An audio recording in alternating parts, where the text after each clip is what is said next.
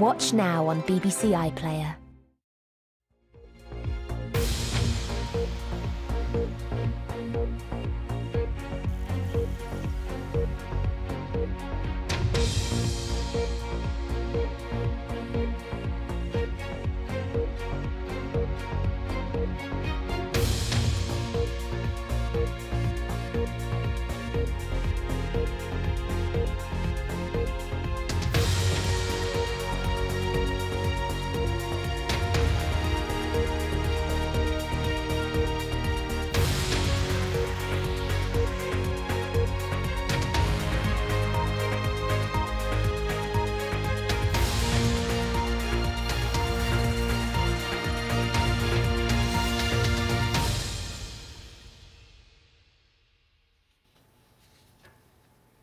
This is BBC News. Uh, I'm Tanya Beckett. Here are the headlines.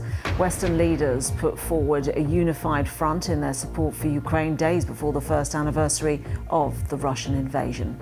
Ukraine needs more artillery, armoured vehicles, and air defence. So now is the moment to double down on our military support.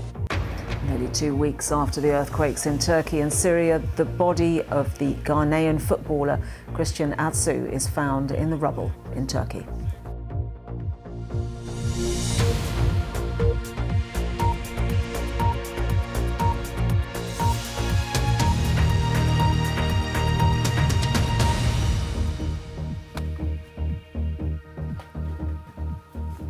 Hello and welcome to BBC World News. Western leaders have put forward a unified front in their support for Ukraine days before the first anniversary of the Russian invasion.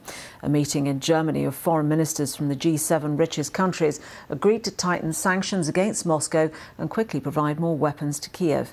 The UK Prime Minister Rishi Sunak said the sovereignty and security of every nation was at stake in the war. We need a military strategy for